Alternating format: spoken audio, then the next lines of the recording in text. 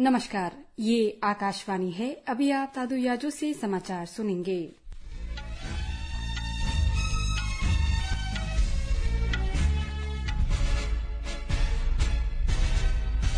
पहले मुख्य समाचार। प्रधानमंत्री नरेंद्र मोदी ने आज एथेंस में ग्रीस के राष्ट्रपति कैटरीना सकेला रोपोलू से भेंट की। बैठक बी ट्वेंटी इंडिया भारत के विश्व उत्तरदायी, त्वरित, प्रगतिशील, सतत समान व्यापार पर आधारित है। इसरो ने चंद्रयान तीन के लैंडर से रोवर प्रज्ञान के चंद्रमा की सतह पर उतरने का वीडियो जारी किया। मौसम विभाग ने हिमाचल प्रदेश, उत्तराखंड और पंजाब में अगले दो दिन में तेज बारिश की चेतावनी दी। विश्व बैडमिंटन चैंपियनशिप के पुरुष सिंगल्स के क्वार्टर फाइनल में एच एस प्रणोय और पुरुष डबल्स सात्विक साईराज रंगारेड्डी तथा चिराग शेट्टी की जोड़ी अब भी चुनौती रहेगी अब समाचार विस्तार से। प्रधानमंत्री नरेंद्र मोदी ने आज एथेंस में ग्रीस के राष्ट्रपति कैटरीना सकेला रोपोलू से भेंट की। श्री मोदी और राष्ट्रपति सकेला रोपोलू ने दोनों देशों के बीच संबंधों को सुदृढ़ बनाने के लिए चर्चा की। ग्रीस के राष्ट्रपति सकेला रोपोलू से भेंट के दौरान प्रधानमंत्री नरेंद्र मोदी ने चंद्रयान तीन मिशन की सफलता पर भी बात की। उन्होंने कहा कि चंद्रयान तीन की सफलता अकेले भारत की नहीं, बल्कि पूरी मानव जाति की सफलता है। प्रधानमंत्री ने कहा कि चंद्रयान तीन मिशन द्वारा एकत्र किए गए डेटा के परिणाम पूरी वैज्ञानिक समुदाय और मानव जाति की सहायता करेंगे। इससे पहले श्री मोदी ने ग्रीस में आज अज्ञात सैनिकों के स्मारक पर पुष्पांजलि अर्पित की। इसके बाद प्रधानमंत्री के सम्मान में गार्ड ऑफ़ ऑनर दिया गया। अज्ञात सैनिकों का स्मारक एक युद्ध स्मारक है, जो एथेंस के सिंटेग्मा स्क्वायर में पुराने रॉयल पैलेस के सामने स्थित है। यह विभिन्न युद्धों के दौरान मारे गए ग्रीस के सैनिकों को समर्पित एक स्मारक है। पिछले चालीस वर्षों में किसी भारतीय प्रधानमंत्री की यह पहली ग्रीस यात्रा है। एथेंस में होटल के बाहर प्रवासी भारतीयों ने प्रधानमंत्री मोदी का गर्मजोशी से स्वागत किया। श्री मोदी दोनों देशों के व्यापार प्रमुखों के साथ साथ ग्रीस में भारतीय समुदाय के साथ बातचीत करेंगे। भारत और ग्रीस के बीच पुराने संबंध हैं जो हाल के वर्षों में समुद्री परिवहन, रक्षा, व्यापार और निवेश जैसे क्षेत्रों में और मज़बूत हुए हैं। इससे पहले श्री मोदी आज सवेरे दक्षिण अफ्रीका में से ग्रीस की राजधानी एथेंस पहुँचे। दक्षिण अफ्रीका में उन्होंने पंद्रहवें ब्रिक्स शिखर सम्मेलन में भाग लिया और भारत के संबंधों को सुदृढ़ करने के लिए कई विश्व नेताओं के साथ द्विपक्षीय बैठक की। बी ट्वेंटी बैठक भारत दो हज़ार तेईस आज नई दिल्ली में शुरू हुई। यह बैठक बी ट्वेंटी इंडिया भारत के विषय उत्तरदायी, त्वरित, प्रगतिशील, सतत समान व्यापार पर आधारित है।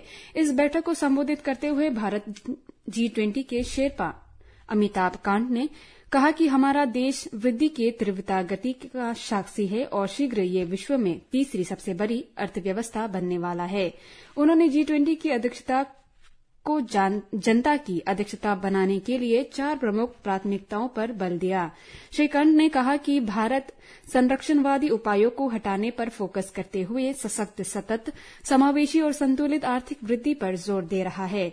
उन्होंने ये भी कहा कि सतत विकास लक्ष्य हासिल करने के लिए गति को त्वरित बनाने के वास्ते जलवायु एक्शन और अन्य प्रमुख प्राथमिकताओं ग्लोबल साउथ तथा महिलाओं के नेतृत्व में विकास को बढ़ावा और तीव्र जलवायु वित्तीय व्यवस्था पर ज़ोर देने पर बल दिया। टाटा सन्स के कार्यकारी अध्यक्ष तथा बी ट्वेंटी भारत के अध्यक्ष एन चंद्रशेखरन ने कहा कि भारत ग्लोबल साउथ क्षेत्र में विशेष रूप से समान वृद्धि के लिए कृत संकल्प है। उन्होंने कहा कि भारत की वृद्धि यात्रा विश्व के भविष्य को आदान प्रदान करेगी। आज बैठक के पहले दिन बी ट्वेंटी भारत की प्राथमिकताओं और विश्व के लिए भारत की सिफारिशों समेत सात सत्र आयोजित किए जा रहे हैं। कई वैश्विक और मास्टर कार्ड माइकल मैबाक के कार्यकारी अधिकारी और विश्व आर्थिक मंच के अध्यक्ष भी बैठक में भाग लेंगे।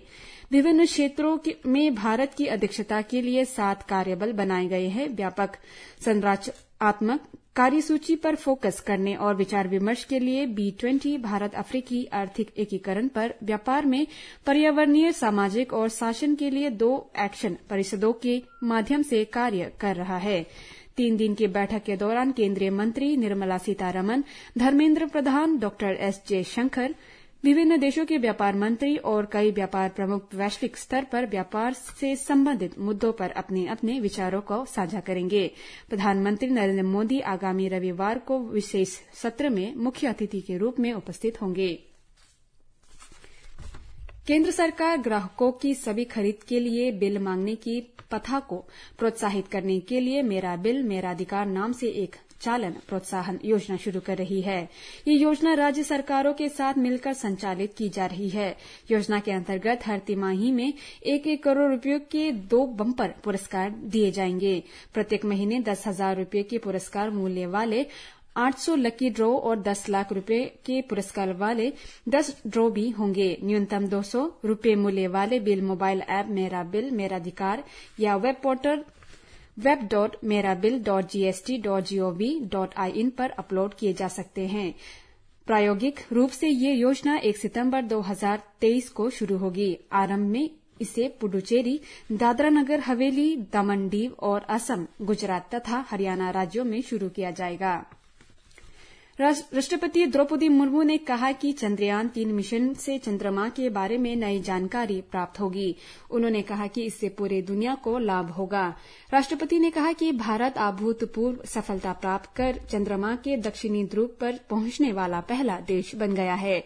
राष्ट्रपति मुर्मू ने आज राष्ट्रपति भवन के सांस्कृतिक केंद्र में ब्रह्मा कुमारी संस्था की पूर्व प्रमुख दादी प्रकाशमणि की स्मृति में एक डाक टिकट जारी किया। ये डाक टिकट दादी प्रकाशमणि की सोलहवीं पुण्यतिथि पर संचार मंत्रालय के डाक विभाग की माई स्टैम्प पहल के अंतर्गत जारी किया गया। इस अवसर पर राष्ट्रपति ने कहा कि दादी प्रकाशमणि ने आध्यात्मिकता के माध्यम से भारतीय मूल्यों और संस्कृति को भारत भारत और विदेशों में फैलाया।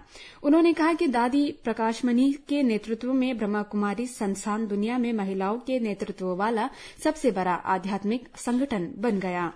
राष्ट्रपति ने कहा कि एक सच्चे नेता की तरह वो चुनौतीपूर्ण परिस्थितियों में भी विश्वास और साहस के साथ ब्रह्मा कुमारी परिवार के साथ खड़ी रही और सदैव उनका मार्गदर्शन किया।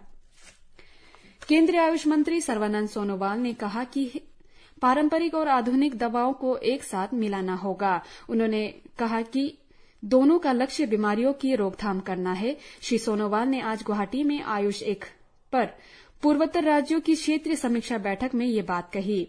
उन्होंने कहा कि आयुष मंत्रालय और स्वास्थ्य एवं परिवार कल्याण मंत्रालय लोगों को सर्वोत्तम स्वास्थ्य सेवा प्रदान करने के लिए मिलकर काम कर रहे हैं।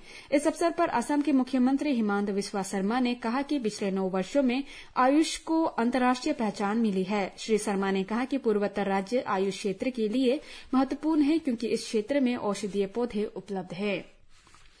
वर्ष 2019 में चंद्रमा के चारों ओर चक्कर लगा रहे चंद्रयान दो के ऑर्बिटर ने चंद्रयान तीन के लैंडर विक्रम के चित्र लिए हैं। चंद्रयान दो में लगे उच्च गुणवत्ता वाले कैमरे ने चंद्रमा की सतह पर मौजूद लैंडर की तस्वीरें भेजी हैं। भारतीय अंतरिक्ष अनुसंधान संगठन इसरो ने कहा है कि ये चंद्रमा के चारों ओर सबसे अच्छा रेजोल्यूशन वाला सबसे अच्छा चित्र है। कुछ देर पहले इसरो ने लैंडर विक्रम के रैंप पर नीचे आते हुए रोवर प्रज्ञान का वीडियो भी जारी किया हिमाचल प्रदेश में सक्रिय मानसून के कारण रुक रुक कर वर्षा जारी है। राज्य आपदा प्रबंधन प्राधिकरण के अनुसार पिछले 24 घंटों में राज्यों के विभिन्न जिलों में 109 घर पूरी तरह नष्ट हो गए हैं। राज्य में नदियों और नालों का जलस्तर बढ़ गया है। कई स्थानों पर भूस्खलन के कारण दो राष्ट्रीय राजमार्गों समेत सैकड़ों संपर्क मार्ग अवरुद्ध हो गए हैं। राज्य आपदा प्रबंधन प्राधिकरण के अनुसार अब तक राज्य के सरकारी विभागों को आठ हज़ार चार सौ पचास करोड़ रुपए का नुकसान हुआ है। राज्य में तेज वर्षा, बादल फटने और भूस्खलन से अब तक तीन सौ सड़सठ लोगों की जान जा चुकी है। तीन सौ तैंतालीस लोग घायल हुए हैं और चालीस लोग अब भी लापता है। मौसम केंद्र शिमला के निदेशक सुरेंद्र पॉल ने बताया कि प्रदेश में अभी वर्षा से राहत मिलने की संभावना नहीं है। मौसम विभाग ने आज और कल तेज वर्षा का येलो अलर्ट जारी किया। उत्तराखंड ने आज राजधानी देहरादून सहित अधिकांश हिस्सों में मौसम साफ़ बना हुआ है और आंशिक रूप से बादल छाए हुए मौसम विभाग ने अगले दो दिनों तक राज्य में अलग अलग स्थानों पर हल्की से मध्यम बारिश और गरज के साथ बौछारें पड़ने का अनुमान लगाया। इस बीच चमोली ज़िले में बद्रीनाथ राष्ट्रीय राजमार्ग को वाहनों के आवागमन के लिए खोल दिया गया है। कोपेनहेगन में विश्व बैडमिंटन चैंपियनशिप के पुरुष सिंगल्स क्वार्टर फाइनल में आज भारत के एचएस प्रणोय का मुकाबला डेनमार्क के विक्टर एक्सलसन से होगा। इसी के साथ ये समाचार बुलेटिन समाप्त हुआ। नमस्कार।